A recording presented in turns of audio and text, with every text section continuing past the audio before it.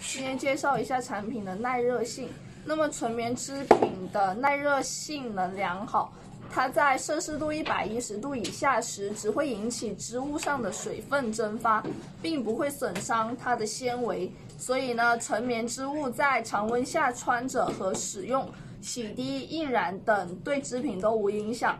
由此也对提高了纯棉织品耐洗、耐穿、服用性能。